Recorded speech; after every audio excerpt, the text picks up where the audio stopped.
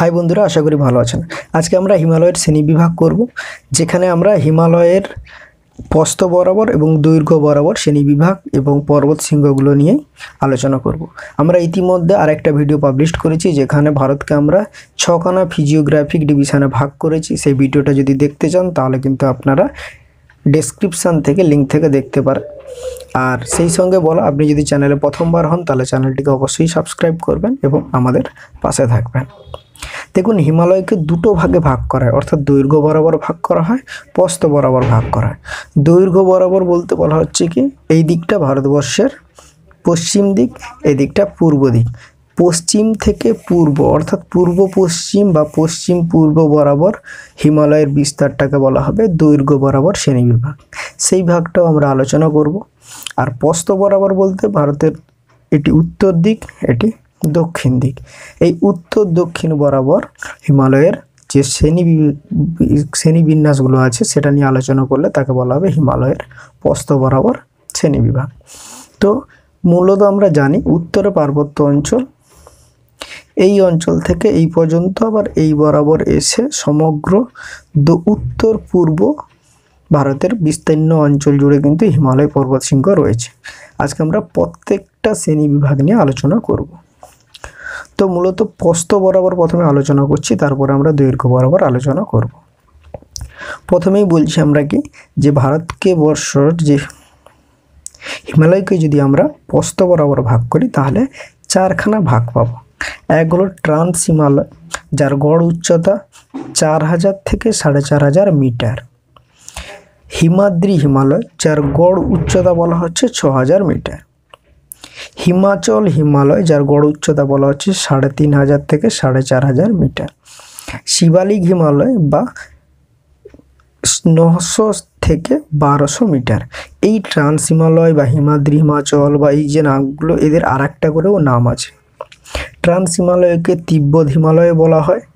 Tethys Himalaya বলা হয়, আবার বহি হিমালয়ে বলা হয়। কেন বহি হিমালয় বলা হয়? সেটা নিয়ে নিশ্চয়ই আমরা আলোচনা করব। হিমাদ্রি হিমালয়কে বলা হয় গ্রেটার হিমালয়। হিমাচল হিমালয়কে বলা হয় কিন্তু লেজার হিমালয়, মধ্য হিমালয়। শিবালিককে অবহিমালয় বলা হয়। সুতরাং এই নামগুলোও কিন্তু আপনাকে সাথে সাথে মনে রাখতে হবে। প্রথমেই আমরা ট্রান্স হিমালয় নিয়ে আলোচনা করব। ট্রান্স হিমালয় বা বহি হিমালয় কিন্তু তিনখানা পর্বত শ্রেণি নিয়ে গঠিত। এই তিনখানা পর্বত শ্রেণি হলো, এখানে রয়েছে আমাদের কারাকোরাম পর্বত শ্রেণি ঠিক তার নিচে রয়েছে লাদাখ পর্বত শ্রেণি যা কিন্তু ভারতের বাইরেও তিব্বতে, অর্থাৎ বর্তমানে যে চীন অধিগ্রহণ করেছে, সেই অংশে কিছুটা বিস্তার লাভ করেছে। ঠিক তার নিচে রয়েছে জাস্কর পর্বত শ্রেণি এই তিনখানা পর্বত শ্রেণি নিয়ে, অর্থাৎ কারাকোরাম, লাদাখ, জাস্কার, এই তিনখানা পর্বত শ্রেণীকে একত্রে বলা হয় কি? ট্রান্স হিমালয় এই ট্রান্স হিমালয়ের অন্যতম যে কারাকোরাম পর্বত শ্রেণি কারাকোরাম পর্বত শ্রেণির হাইয়েস্ট পিক হাইয়েস্ট পিক এইখানে অবস্থিত কে টু বা গর্ডেন অস্টিন, যার উচ্চতা আট হাজার ছশো এগারো মিটার। ঠিক তার নিচে রয়েছে লাদাখ পর্বত শ্রেণি। লাদাখ পর্বত শ্রেণির সর্বোচ্চ শৃঙ্গের নাম হলো রাকা পশি রাকা পশি যার উচ্চতা বলা হচ্ছে যে seven seven eight eight metre. তার নিচে রয়েছে জাস্কর পর্বত শ্রেণি তার উচ্চতম শৃঙ্গের নাম হলো লিও পারগেল লিও পারগেল। যার উচ্চতা বলা হচ্ছে seven four two zero metre. এবার বলা হলো কি, লাদাখ পর্বত শ্রেণি কিন্তু বাইরের দিকে কিছুটা বেরিয়েছে, যার নাম বলা হয় কৈলাস। কারণ এই কৈলাস থেকে আমাদের সিন্ধু নদী এবং ব্রহ্মপুত্র নদীর কিন্তু সৃষ্টি হয়েছে মানস সরোবর থেকে। এই কৈলাস পর্বত শ্রেণির গড় উচ্চতা হচ্ছে সিক্স সিক্স এইট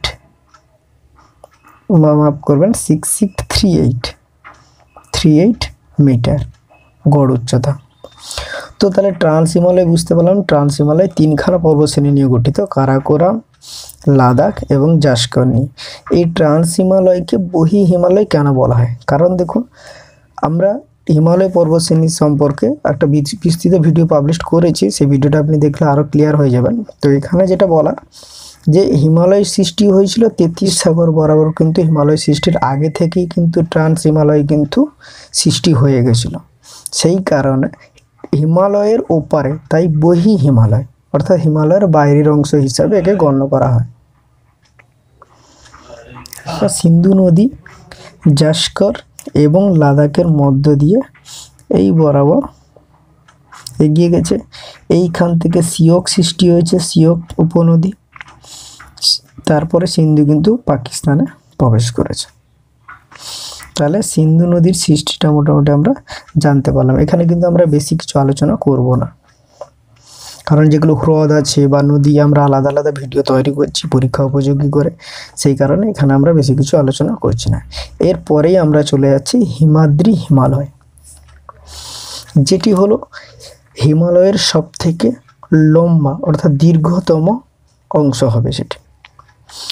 সৃষ্টি হয়েছে ঠিক এই জায়গাটা থেকে নাঙ্গা পর্বত থেকে সৃষ্টি হয়ে ধীরে ধীরে নেপালের মধ্যে প্রবেশ করেছে। নেপালের মধ্যে প্রবেশ করে আমাদের সিকিম সিকিম হয়ে ভুটান হয়ে পৌঁছেছে অরুণাচল প্রদেশে, যেখানে নাম রয়েছে নামচা বারোয়া। নামচা বারোয়া। উচ্চতা হলো seven seven five six metre. এখানে রয়েছে নাঙ্গা পর্বত। নাঙ্গা পর্বত যার উচ্চতা হলো eight one two six metre. এবার দেখুন, এইটি হলো হিমালয়ের সবথেকে লম্বা রেঞ্জ বা পর্বত শ্রেণি এই রেঞ্জটা হলো কত?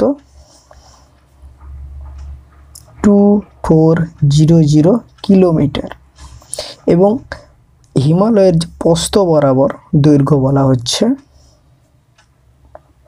চারশো কিলোমিটার। কিন্তু এটি হলো উত্তর পশ্চিম দিকে।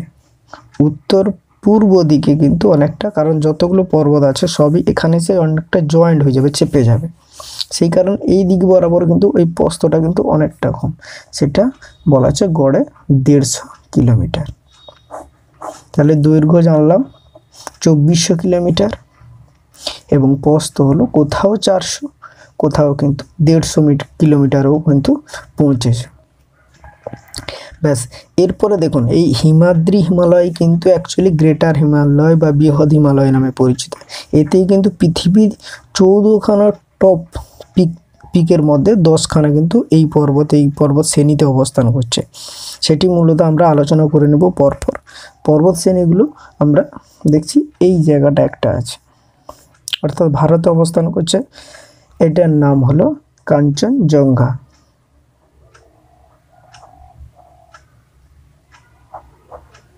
যার উচ্চতা eight five nine eight metre.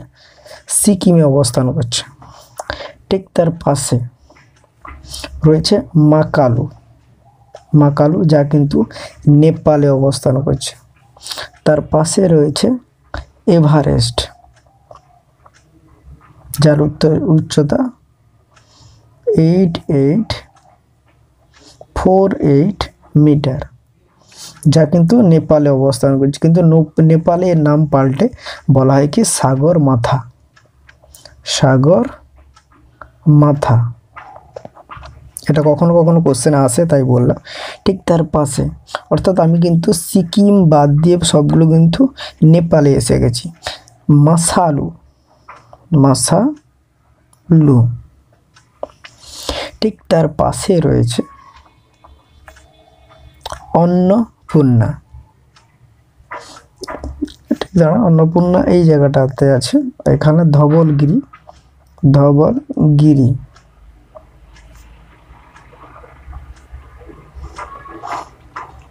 Annapurna এগুলো কিন্তু নেপালে। তাহলে আমরা দেখলাম কি, কাঞ্চনজঙ্ঘা হলো, মাকালু, এভারেস্ট, মাসালু, ধবলগিরি, অন্নপূর্ণা। এরপরে চলে আসছি উত্তরাখণ্ডে। উত্তরাখণ্ডে কিন্তু দুখানা টপিক আছে। এছাড়াও অনেকগুলো আছে যেগুলো আমরা আলোচনা করব। কিন্তু এগুলো পরীক্ষা আসে বলে কিন্তু আমরা আলোচনা করছি। নন্দা দেবী নন্দা দেবী। তারপর রয়েছে বন্দর পুঞ্চ বন্দর পুঞ্চ তাহলে দেখলাম কি? নাঙ্গা পর্বত থেকে নামচা বারো পর্যন্ত কিন্তু হিমাদ্রি হিমালয় বিস্তার লাভ করেছে। বান্দরপুঞ্জ নন্দা দেবী উত্তরাখণ্ডে অবস্থান করছে। সিকিম রয়েছে কাঞ্চনজঙ্ঘা, যেটি কিন্তু ভারতের তৃতীয় উচ্চতম। মাফ করবেন, ভারতের দ্বিতীয় উচ্চতম, পৃথিবীর তৃতীয় উচ্চতম। কারণ দেখুন, এভারেস্ট হলো বিশ্বের ফার্স্ট অর্থাৎ হাইয়েস্ট পিক সেকেন্ডে হলো কে টু বা গর্ডেন যে রয়েছে, সেটি হলো পৃথিবীর দ্বিতীয়। পৃথিবীর তৃতীয় হলো কাঞ্চনজঙ্ঘা। কিন্তু যখন ভারত বলে দেওয়া হচ্ছে, তখন কিন্তু কে টু বা গার্ডেন কিন্তু ভারতের উচ্চতম শৃঙ্গ হয়ে যাচ্ছে। আর দ্বিতীয় হয়ে যাচ্ছে কি? কাঞ্চনজঙ্ঘা। কারণ এভারেস্ট হলো নেপালে অবস্থিত করছে কিন্তু এই যে কে টু বা গার্ডেন আস্টিন বললাম, এটা কিন্তু পাক অধিকৃত যে কাশ্মীর রয়েছে, তাতে কিন্তু রয়েছে। তাই আমরা যেমন বাদও দিতে পারি না, আবার সেভাবে এই জন্য কোশ্চেনটা আপনাকে মাথায় রাখতে হবে। কখনো কখনো পাক অধিকৃত কাশ্মীর কথাটা চলে আসে। তো এটা মূলত পরীক্ষামূলক পরি- মানে প্রতিযোগিতামূলক পরীক্ষায় দেওয়া হয় না, বিতর্কিত কোশ্চেন হবে বলে। তো এটি মূলত এইভাবে দশখানা পিককে আপনাকে মনে রাখতে হবে। এছাড়া এখানে বুর্জিল পাস, জজিলা পাস রয়েছে, গঙ্গোত্রী হিমবাহ, যমুনাত্রী হিমবাহ রয়েছে। এগুলো কিন্তু আমরা আলাদা এক ভিডিওতে কিন্তু আলোচনা করব। ঠিক তার নিচে, অর্থাৎ আমরা ট্রান্স হিমালয় হলো, হিমাদ্রি হিমালয় হলো, ঠিক তারপরে জম্মু কাশ্মীরেই এই অংশে রয়েছে পীর পাঞ্জাল রেঞ্জ অর্থাৎ হিমাদ্রি হিমালয়ের পরে ছিল কি? হিমাচল হিমালয়। হিমাচল হিমালয় এইরকম কিছুটা ফাঁক ফাঁক দিয়ে দিয়ে আছে। এটা যেরকম টানা রয়েছে, সেটা কিন্তু অনেকটা গ্যাপ দিয়ে রয়েছে। পীরপাঞ্জল ঠিক তার নিচে এটা আমাদের হিমাচল প্রদেশ রয়েছে, হিমাচল প্রদেশ রেঞ্জ, উত্তরাখণ্ড রয়েছে, মেসৌরি। তারপরে নেপালে এসে গেলাম, নেপালে কিন্তু দুখানা অংশ আছে নাকটিব্বা এবং মহাভারত। এরপরে কিন্তু ধীরে ধীরে কিন্তু এটা জয়েন্ট হয়ে গেছে। তাহলে আমরা ট্রান্স হিমালয় হলো, হিমাদ্রি হিমালয় হলো, হিমাচল হিমালয়। এই হিমাচল হিমালয়ের কিছু ইম্পর্ট্যান্ট প্রশ্নগুলো আমরা দেখে নেব। দেখুন, প্রথমটা বললাম কি যে এটি পীর পাঞ্জাল রেঞ্জ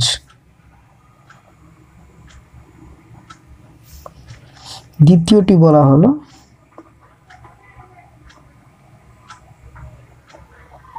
হিমাচল বা ধবলধার। পর্বত শ্রেণি।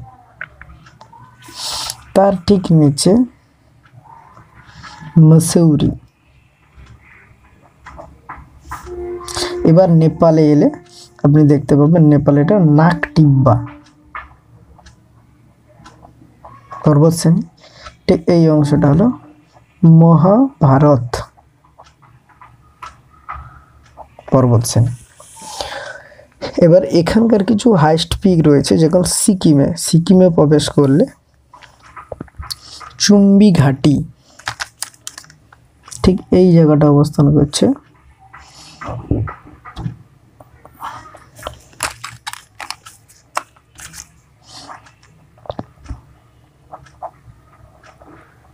চুম্বি ঘাটি পর্বত। বলা হলো কি মহাভারত পর্বত শ্রেণি। নাকটিব্বা পর্বত শ্রেণি, যে দুটো নেপালে অবস্থান করছে। এরপরে মসৌরি। মসৌরি কোথায়? উত্তরাখণ্ড। এটা দেখুন, উত্তরাখণ্ড। তাহলে উত্তরাখণ্ডে রয়েছে মসৌরি। এখানে ইম্পর্টেন্ট জায়গাগুলো কি?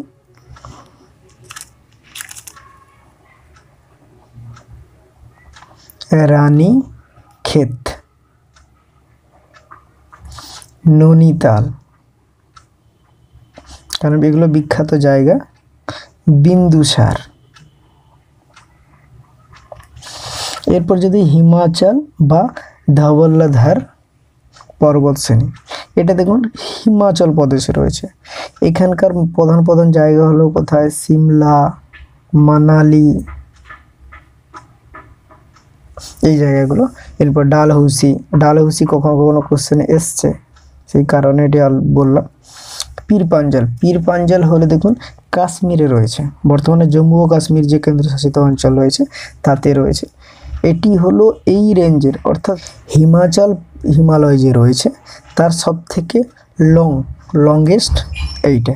যদি ভারতের কথা বলেন, না হলে কিন্তু আপনার মহাভারতটা হলো সব থেকে এই রেঞ্জের। অর্থাৎ নেপালে অবস্থান করছে ভারতে হলে পীরপাঞ্চল সব থেকে লংগেস্ট আর নেপালে হয়ে গেলে বা সমগ্র অঞ্চলের বলে দিলে যে হিমাচল, হিমালয়ের সর্বোচ্চ শ্রেণির নাম কি? যেটি মহাভারত হয়ে যাবে। কিন্তু নেপালে অবস্থান করছে ভারত হলে পীরপাঞ্চল। এখানে এনএইচ ওয়ান দেখতে পাবেন। এছাড়া এখানে গোলমার্গ, সোন, সোনমার্গ যে বিস্তীর্ণ যে জম্মু কাশ্মীর যে আমাদের বলি স্বর্গ, তো সেখানে যে ঘাসময় যে অঞ্চলগুলো আছে, যেগুলো সুদৃশ্য, সেই জায়গাগুলো কিন্তু এই অঞ্চলেই মূলত অবস্থান করছে। এবার দেখুন, এটি গেল হিমাচল, তাহলে ট্রান্স হিমালয় হলো, হিমাদ্রি হিমাচল হলো, হিমাচল হিমালয় হলো। এরপরে এরপরে হলো আমাদের শিবালিক বা অব হিমালয় ঠিক এই জায়গাটা থেকে শুরু হয়ে টানা কাজ প্রায় কাছাকাছি দিয়ে যোগ হয়ে যোগ হয়ে শেষে এখানে মিলিত হয়েছে। মিলিত হয়ে বা নিচের দিকে নেমে এসছে, সেটা আমরা আবার পরে পড়ছি। অর্থাৎ অরুণাচল প্রদেশের চারখানা পর্বশ্রেণী নিয়ে আলোচনা করব, যা শিবালিকের অন্তর্গত। তো এই শিবালিকের শিব শিবালিক পর্বশ্রেণী, কারণ বলেছি যে যত উত্তর পূর্ব দিকে আসবে, তত কিন্তু হিমাচল কিন্তু বা এই যে হিমালয় আছে, তা কিন্তু অনেকটা পস্ত বরাবর অনেকটা কমে যাবে। যেখানে দেড়শো কিলোমিটার লিখেছে এই কারণে। এদিক থেকে পরপর আমি আলোচনা করে যাচ্ছি, এগুলো ইম্পর্ট্যান্ট তাই এখানে যে অরুণাচল প্রদেশে রয়েছে আচ্ছা অরুণাচল প্রদেশের জনজাতির নাম অনুসারে কিন্তু নামকরণগুলো হয়েছে। ডাফলা, মিরি, অবর এবং মিসমি। এই চারখানা পর পর পর পর বললাম। কারণ এখানে ঘেঁটে যাবে বা জড়িয়ে যাবে বলে আমি কিন্তু আলাদা করে দিলাম ডাফলা, মিরি, অবর, মিসমি পরপর এখানে রয়েছে। এর পরেই কিন্তু হিমালয়ের অংশ কিন্তু আমরা হিমালয়ের অংশরূপে সব জায়গায় পড়ি না। সেটা দেখুন, এই জায়গাটা রয়েছে দিহঙ্গজ। অর্থাৎ ব্রহ্মপুত্র নদী এই বরাবর ভারতবর্ষে প্রবেশ করেছে। ঠিক তার নিচের অংশে নিচের অংশে এটি একটি অংশ, এটি একটা অংশ, এটা একটা অংশ মণিপুর, এখানে মিজোরাম রয়েছে। মিজোরামের অংশে যেটা রয়েছে একে মিজো পর্বত বলা হয়। কি? মিজো পর্বত শ্রেণি বা লুসাই বলা হয়। লুসাই। মণিপুরে মণিপুরি পর্বত। ঠিক তার উপরে রয়েছে নাগাল্যান্ড রয়েছে। এই নাগাল্যান্ডের যে অংশটা রয়েছে, এটা করে নাঙ্গা পর্বত। বা নাগা পর্বত। তার উপরের অংশটা যে রয়েছে, যেটা পাটকাই। কি? পাটকাই পর্বত। তাহলে কি দেখলাম? পাটকাই, নাঙ্গা পর্বত মণিপুরি পর্বত, মিজোরাম। এদের কিন্তু একত্রে বলা হয় কিন্তু পূর্বাঞ্চল। অর্থাৎ পূর্বাঞ্চল নাম। এটা এই পূর্বাঞ্চল কিন্তু হিমালয়েরই কিন্তু অংশ। এটি কিন্তু ভুল করলে হবে না। এটা হিমালয় যে রেঞ্জ রয়েছে বা পর্বত শ্রেণি রয়েছে, তার কিন্তু অন্তর্গত এটি। অর্থাৎ দিহঙ্গজ বরাবর এই বরাবর কিন্তু বেঁকে গেছে, যেটা কিন্তু পরপর বিস্তার লাভ করে কিন্তু এই যে আন্দামান নিকোবর দ্বীপপুঞ্জ দেখছি, এই বরাবর কিন্তু প্লেট মার্জিন বরাবর যুক্ত হয়েছে। তাহলে এই হলো আমাদের হিমালয় পর্বত যে ছিল, তার শ্রেণি বিভাগ হলো। কিন্তু দৈর্ঘ্য বরাবরও আমরা চারখানা ভাগ করতে পারি। দৈর্ঘ্য বরাবর কাশ্মীর হিমালয় কুমায়ুন হিমালয়, নেপাল হিমালয় এবং আসাম হিমালয়। আমরা যদি পশ্চিম থেকে পূর্ব দিকে যাই, তাহলে এই জায়গাটা দেখি শতদ্রু নদী আছে। অর্থাৎ জম্মু কাশ্মীর এবং হিমাচল প্রদেশের পরে যেখানে সত্য শতদ্রু নদী মিলিত হয়েছে, সেই পর্যন্ত অঞ্চলটাকে বলে দেওয়া হচ্ছে কি, আমি এরকম লম্বা টেনে নিলাম, যেটাকে বলে দেওয়া হচ্ছে কাশ্মীর হিমালয়। কাশ্মীর হিমালয়। কি নিয়ে? Jammu and Kashmir plus Himachal Pradesh. এই দুটো স্টেট কত দূর পর্যন্ত হলো?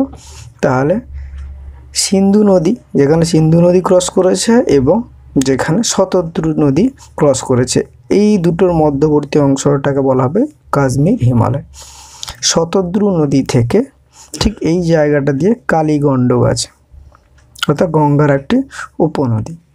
এই অঞ্চলটাকে বলা হবে কুমায়ুন কুমায়ুন হিমালয়। এটি মূলত উত্তরাখণ্ড নিয়ে, উত্তরাখণ্ড যে রাজ্য আছে তা নিয়ে গঠিত। এরপরে কিন্তু এই বিস্তীর্ণ অঞ্চল এখানে সিকিম পর্যন্ত, অর্থাৎ সিকিমে এই বরাবর গেছে আমাদের তিস্তা রিভার।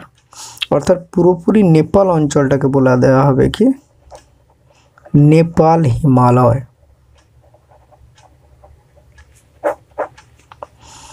তাহলে তিস্তা পর্যন্ত কত দূর থেকে? কালি থেকে তিস্তা পর্যন্ত নেপাল হিমালয়। তার পরবর্তী অংশটা হলো অরুণাচল প্রদেশ, যে ভুটান আছে অরুণাচল প্রদেশ, এই অংশটাকে বলে দেওয়া হয় কি? আসাম হিমালয় বলা হবে আসাম হিমালয়। একে পূর্বাঞ্চলও বলা হয় মানে পূর্বাঞ্চলের অন- অন্তর্গতও বলা হয়েছে। তো এই হলো ভাগ। অর্থাৎ পস্ত বরাবরের ক্ষেত্রে আমরা সেই কারণে পূর্বাঞ্চলটাকে ধরেছিলাম না। এখানে কিন্তু পূর্বাঞ্চলটাকে ধরে নিলাম, কারণ এটা দৈর্ঘ্য বরাবরই এর বিস্তৃত। এটা পস্ত বরাবরে কিন্তু সেই কারণে আমরা আলোচনা করি না বেশিরভাগ জায়গায়। কিন্তু আমরা আলোচনা করেছি যাতে আমরা পরীক্ষা বেশি অ্যাটেম্প্ট করতে পারি সেই কারণে। আর আজকের ভিডিও এইটুকু পর্যন্ত, যেখানে আমরা দৈর্ঘ্য বরাবর দেখলাম পস্ত বরাবর ভাগগুলো দেখে নিলাম। আর চ্যানেলে যদি প্রথমবার হন চ্যানেলটিকে নিশ্চয়ই সাবস্ক্রাইব করবেন। আর ভালো থাকুন, সুস্থ থাকুন।